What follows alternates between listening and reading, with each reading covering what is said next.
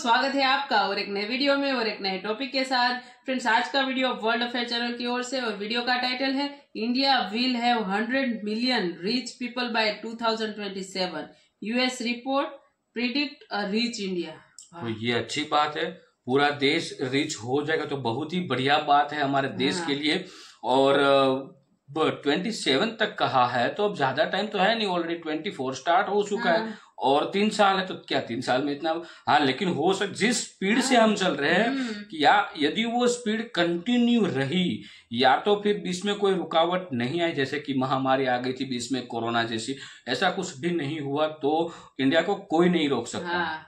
Otherwise तो भाई hundred करीबन एक एक सौ चालीस करोड़ आबादी है कुछ ऐसा बड़ा हो गया कुद, कुदरत की ओर से भगवान की ओर से या तो मनुष्य जाति की ओर से महामारी जैसा तो भाई कोई भी बड़ा हो झुकना तो पड़ता है भाई उसके सामने और हो सकता है। लेकिन आशा करते हैं अगले हम्म, तीन साल अच्छा ये होगा बिल्कुल तो चलिए दोस्तों पहले वीडियो देखते हैं। वीडियो जो है वो वर्ल्ड अफेयर चैनल की ओर से है मिस्टर प्रशांत धवन जी का। आशा करेंगे पसंद ज़रूर आएगा हर बार की तरह भी। तो इस बार भी सपोर्ट आपका चाहिए इस बार भी सपोर्ट दिखा दीजिए। वीडियो को लाइक कर दीजिए चैनल को सब्सक्राइब कर दीजिए और अपने दोस्तों से शेयर भी कर दीजिए। जी तो चलिए स्टार्ट करते हैं। नमस्कार and welcome you to world affairs. मैं प्रशांत धवन। नाउ रिसेंटली आपने ऐसे आर्टिकल्स देखे होंगे, हर जगह जहाँ पे लिखा हुआ है कि 100 मिलियन 2027 में मतलब के तीन साल के अंदर अंदर भारत में जो एफ्लुएंट लोग हैं ऑलमोस्ट आप कह सकते हैं जो अमीर लोग हैं, इनकी संख्या 100 मिलियन होने वाली है। मतलब इंडियन आप कह लीजिए 10 करोड़ लोग हम यहाँ पे बात कर रहे हैं। 10 करोड़ एक बहुत ही बड़ी आबादी होती है। देखिए, लगातार इससे रिलेटेड आर्टिकल्स रिपोर्ट्स इसलिए पब्लिश हो रही है क्योंकि दुनिया में ना गिनती के 14 से लेकर 15 ही देश होंगे, जिनकी टोटल आबादी ही ना 10 करोड़ या 10 करोड़ से ऊपर हो। अब आप इमेजिन करिए, भारत में तो 10 करोड़ एफ्लुएंट लोग रहने वाले हैं, जो कल को परचेजिंग कर सकती हैं, जो कल को आईफोन या फिर एक महँगी घड़ी या फिर कुछ एक्सपेंसिव रेंट कर सकती हैं। तो इंडिया की जो मिडिल क्लास है ना, ये लगातार और ज़्यादा अमीर होती जा रही है। ये बात रिसेंटली गोल्डमैन सैक्स की एक रिपोर्ट में कही गई है। ना सबसे पहले तो ना मैं आपको बता दूँ गोल्डमैन सैक्स है क्या? उसके बाद आपको बताऊँगा, इनकी रिपोर्ट में क्या बातें लिखी हैं, और इन्होंने अचानक से उठकर एक दिन ये बात क्यों बोल दी कि 100 million affluent people in India ये बात ये क्यों कह रहे हैं? इसके पीछे इनका रीजन क्या है? मोटिव क्या है? अब गोल्डमैन सैक्स एक इन्वेस्टमेंट बैंक है। इन्वेस्टमेंट बैंक क्या करता है? कि जो अमीर लोग हैं, जिनको समझ नहीं आता कि अपनी संपत्ति का क्या करे, कहाँ पर पैसा लगाए, पैसा है तो बहुत सारा, मगर कैसे इंश्योर करे कि ये पैसा पुश्तों तक चलेगा तो वहाँ पे आता है एक इन्वेस्टमेंट बैंक। दुनिया में जो सबसे ज़्यादा लीडिंग इन्वेस्टमेंट बैंक है, ये अमेरिका के ही है। एक जेपी मॉर्गन, आपने इसके बारे में भी सुना होगा कि जी जेपी मॉर्गन की रिपोर्ट आई है, जेपी मॉर्गन ये कह रहे हैं इंडिया के बारे में। तो जेपी मॉर्गन नंबर वन पे है सबसे ज़्यादा पैसा इनके पास निवेश करने के लिए। और नंबर दो पे है गोल्डमैन सैक्स। और मैं आपको ये बता दूँ, दुनिया भर की जो कंट्रीज़ हैं, इनके प्रेसिडेंट, प्राइम मिनिस्टर्स ना जेपी मॉर्गन और गोल्डमैन सैक्स को बहुत ज़्यादा प्रायोरिटी देते हैं, क्योंकि इनके हाथ में अमीरों का पैसा है, जहाँ मर्ज़ी ये निवेश करना चाहे कर सकते हैं। एक्चुअली ऐसा नहीं है कि जहाँ मर्ज़ी के मतलब पाकिस्तान, श्रीलंका में डाल दिया, ऐसा भी नहीं। अकाउंटेबिलिटी भी होती है, मगर इनके पास ऑप्शन होती है कि ये पैसा चाइना में निवेश करें, इंडिया में निवेश करें। तो आप समझ सकते हैं, दुनिया भर की कंट्रीज़ ना कोशिश करती हैं कि ये इन्वेस्टमेंट बैंक्स हमारे देश में पैसा लगा दें। अब गोल्डमैन सैक्स ना पिछले कुछ सालों में लगातार खुल के दुनिया को बताता आया है कि हम इंडिया को लेकर बुलिश है। बुलिश मतलब कि हमारा मानना है कि भारत की जो इकोनॉमी है, भारत की स्टॉक मार्केट है, ये आगे खूब दौड़ेगी, यहाँ पर खूब पैसा बनेगा और हम यहाँ पे पैसा निवेश करके इनके साथ पैसा ग्रो करना चाहते हैं अपना।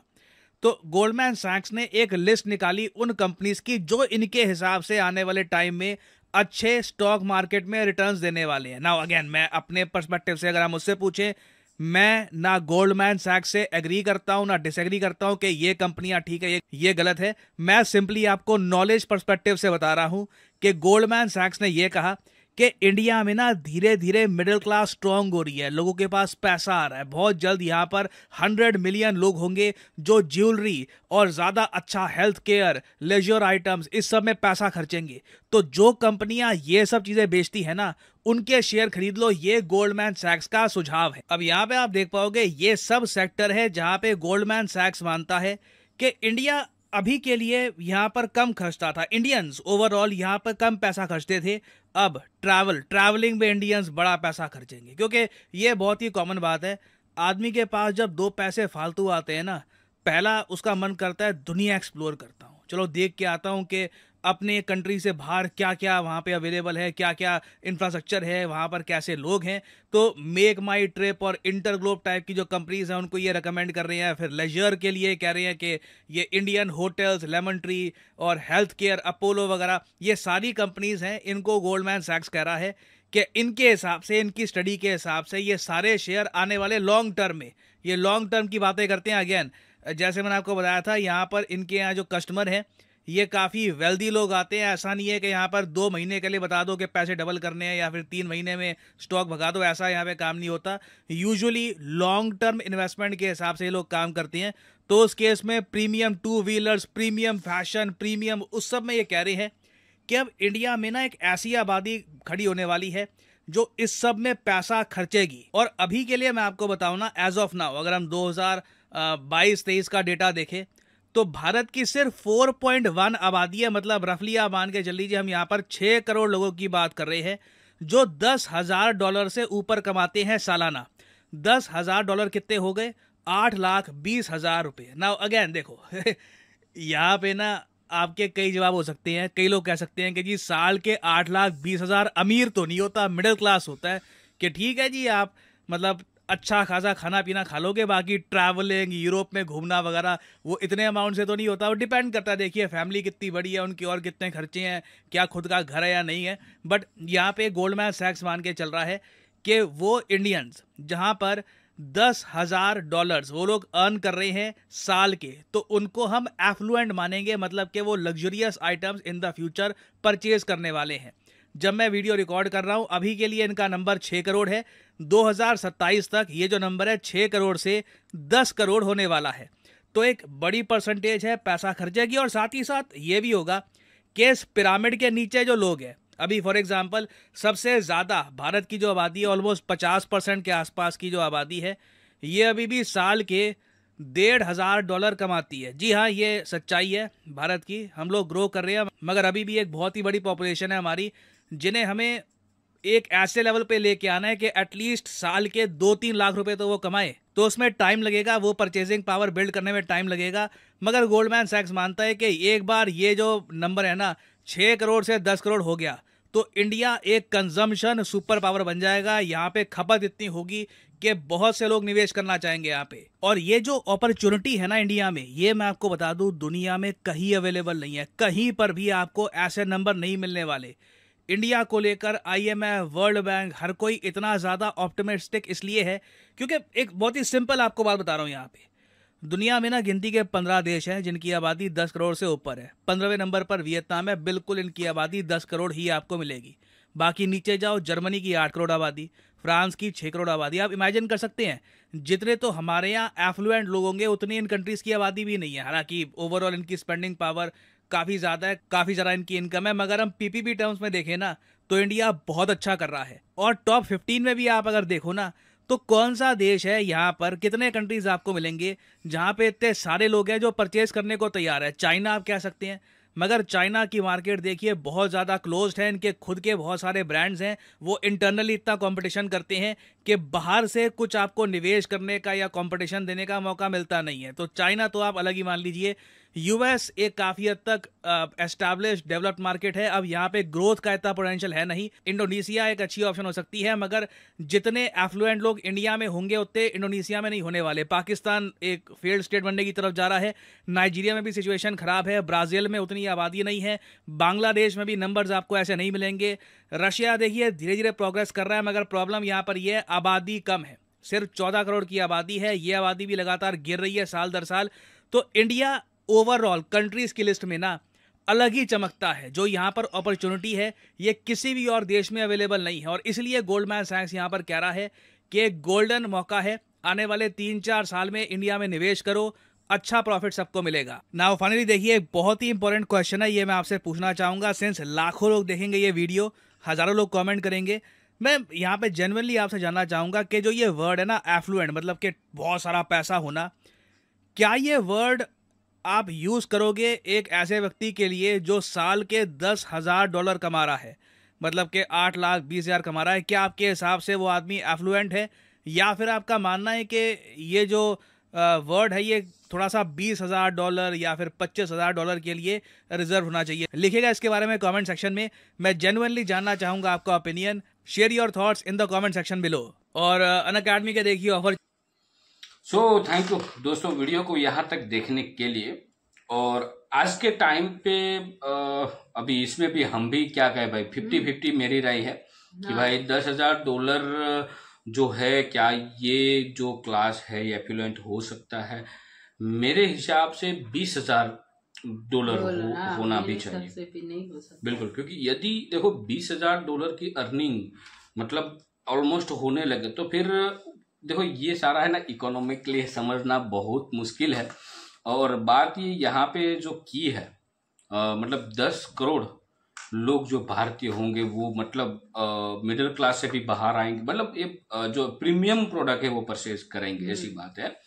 तो मेरे हिसाब से अभी का जो दौर चल रहा है तो कहीं वो हमें दिखने को तो मिल रहा है। क्योंकि अब ये नहीं समझ में आ रहा है कि क्या ये सिर्फ़ रुतवा करने के लिए प्रोसेसिंग हो रही है कि भाई मेरे पास पैसा है वो दिखाने के लिए है कि या फिर रियल में लोगों को ये कुछ यूज़ में है? हम्म मतलब नीड है। नीड्स है। हम्म, जैसे कि आईफोन लोग ज़्यादातर हमने मैंने जिसके पास है। मैंने हाँ। बहुत सारे जिन जिन लोगों ने लिया है आईफोन उसको मैंने क्वेश्चन एक, एक मेरा सिंपल क्वेश्चन होता है। वो यही मैं कहता हूँ भाई तूने क्यों लिया आईफोन क्या बेनिफिट्स होते हैं आईफोन लेने से? किसी ने कोई प्रॉपर आंसर दिया ही हाँ। नहीं अब तक नहीं दिया है बिल्कुल ये लोग जो जिन्हों बाकी एक वन परसेंट या टू परसेंट मैं कह सकता हूँ कि जिन लोगों ने आईफोन लिया है तो उन लोगों का एक आंसर मिला है कि घर में फ़र्स्ट मोबाइल ही हमने आईफोन लिया था अब हमें वो आदत हो गई तो यूज़ टू है ये वन परसेंट लोगों ने बाकी जिन्हों जिन जिन मेरे ग्रुप में लिए आईफोन सिर्फ़ और सिर्फ़ यही रुतवा और कुछ नहीं कि भाई मेरे पास आईफोन ब्रांड है दिखनी ब्रांड दिखनी चाहिए। ऐसा और कुछ नहीं। बाकी हम उसका बैकग्राउंड देखें तो पैसा कितना कमाता है मंथली पंद्रह हज़ार बीस हज़ार। ऐसा इनकम है ईएमआई या कुछ भी करके उन्होंने आईफोन लिया या तो फिर देखा देखी की वजह से आईफोन लिया ये भी हम देख लेकिन हाँ ये ज़रूर है कि लोग प्रीमियम प्रोडक्ट की ओर आकर्षित हो रहे हैं। ये मैं ज़रूर कहूँगा, उसमें कोई झूठ नहीं है और कोई दो राय नहीं है। ये पक्का है कि लोग प्रीमियम प्रोडक्ट लेना चाहते हैं। और ये बात अच्छी है, यदि आपको प्रीमियम प्रोडक्ट लेना है तो उस हिसाब से आपका मैं जब तक, जहाँ तक मान सकता हूँ आपका थॉट भी यही रहेगा कि आप कुछ और ज़्यादा कमाना भी चाहते हो। लेकिन कम दिख रहा है ऐसा, लेकिन अच्छे हो, ऐसा थॉट्स हो तो और मेरे हिसाब से 2027 तक हो सकता है। रीजन यही है। रीजन इसलिए मैं बोल रहा हूँ क्योंकि अभी ये जो रिपोर्ट आई इस रिपोर्ट की वजह से बाकी कंट्रीज़ के लोग जो है हमारे यहाँ इन्वेस्ट ज़्यादा करेंगे। और इन्वेस्ट करेंगे तो रोज़गार ज़्यादा बढ़ेगा। तो रोज़गार ज़्यादा बढ़ेगा तो सबकी इनकम भी हम्म, बढ़ेगी। हाँ तो होगी है ना। बिल्कुल। तो उस हिसाब से माना जा सकता है लेकिन हाँ। बाकी तो 2027 में देखा जाएगा। और ऐसा हो तो बहुत ही अच्छी बात है। बाकी हाँ। देखो ये जो है ना सारा का सारा एक बिज़नेस की एक बोलते हैं ना ये स्ट्रक्चर है हाँ वो मतलब ये जो गोल्डमैन सेक्स कोई ऐसी पॉजिटिव न्यूज़ डाल दो तो उसके उन उन लोगों ने हाँ। जहाँ जहाँ हाँ, पूरा पता फिर कंपनियों का लिस्ट हाँ भी दिया। कंपनियों का नाम और सब लिस्ट दिया था तो उसमें मतलब अभी तो ज़्यादा लोग पैसे लगाएँगे। बिल्कुल। तो अब उसमें लोग इन्वेस्ट करेंगे तो भाई हम्म, वो भी तो प्रॉफिट कमाने बैठे हम्म, तो ये सब कुछ समझना हाँ। बहुत ज़रूरी फिर भी मैं यहाँ पे क्लियर बोल दूँ हम भी ये जो रिव्यू सिर्फ़ कर रहे हैं हम आपको कोई सजेशन नहीं दे रहे आप आपकी रिसर्च के हिसाब से आप सब कुछ करना। हम्म, ठीक है ये मैं आपको क्लियर बोल दूँ वीडियो के लास्ट में।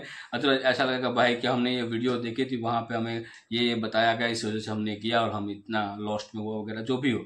हम यहाँ से कोई सजेशन नहीं दे रहे जिस हिसाब से वीडियो है उस हाँ हिसाब से उस हिसाब और प्रशांत धवन जी ने भी कहा ना कि भाई हम सिर्फ़ न्यूज़ पढ़ रहे हैं हाँ। हम यहाँ पे कोई चीज़ जो है उसको कंफर्म नहीं हाँ। कर रहे हैं। बाकी वीडियो कैसी लगी दोस्तों? आप हमें कमेंट में लिखकर ज़रूर बताएगा फ़िलहाल हम आपसे विदाई लेंगे। मिलेंगे और अपने वीडियो में आपके साथ। टिल देन जय हिंद जय हिंद जय भारत।